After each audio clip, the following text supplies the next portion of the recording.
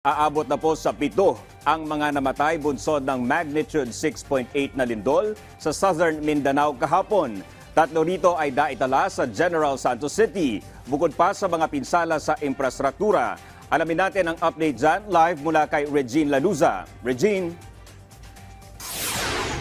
Yes, Dominic, maraming mga building dito sa General Santos City ang nasira dahil sa nangyaring pagyanig kahapon ng hapon. Kaya naman, habang nagsasagawa pa ng assessment ang lokal na pamahalaan, ay sarado muna at hindi muna pinapapasukan ang nasabing mga establishmento.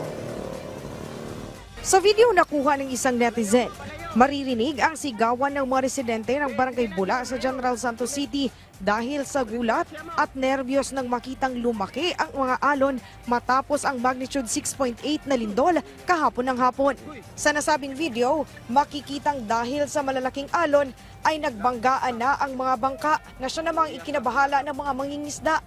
Kaya yung iba ay sinubukan pang isalba ang kanilang mga bangka para hindi masira. Sa kabila nito ay hindi nakaligtas ang bangka ni Anacleto Agi at nasira dulot ng malakas na alon.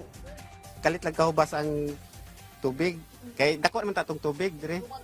Ya pag kwan akso hubas. Mo to gi batay-batay na mo mga pila ka kwan ni balik ang tubig. Dire oh, diana jud oh.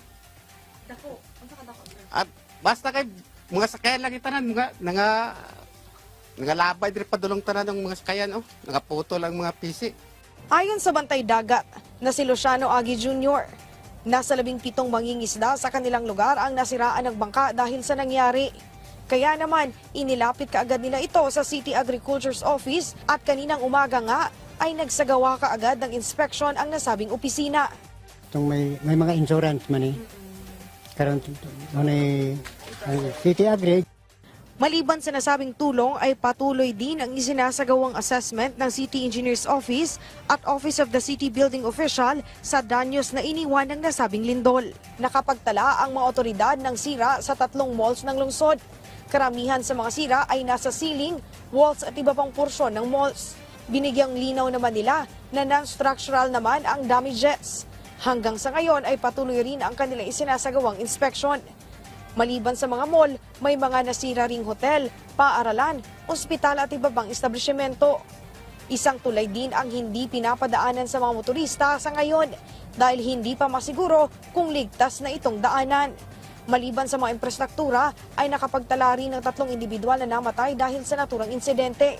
Namatay kahapon ang mag-asawang sina Donnie at Jane Ginong matapos mabagsakan ng concrete wall sa compound ng Barangay San Isidro. Patay na rin ng matagpuan kaninang madaling araw ang isang nail technician na si Winifreda Flores sa loob ng isang mall dito sa Jensen. Ayon sa mga otoridad, hindi kaagad nakalabas ng mall ang biktima nang mangyari ang pagyanig kaya tinamaan ito ng concrete beam na naging sanhi ng kanyang pagkamatay. no, naghatag na ka og advice ang ilahang mga funeral bill ato na i-shoulder and then ah, karon after dinhi na kuadto dito para ihatag nato ang ato financial assistance Maliban sa Jensen, ay nakapagtala rin ng danyos ang Malapatan Sarangani, kung saan isang bahay dito ang bumigay at nadaganan pa ang isang sasakyan. Bumigay din ang municipal wharf ng nasabing lugar, kung saan isang porsyon ang nakapagtamo ng malalaking cracks. Sa Glan Sarangani, may malalaking bato rin ang nahulog sa kalsada. Pero sa kasalukuyan ay naaksyon na na ito at naitabi na ang mga bato.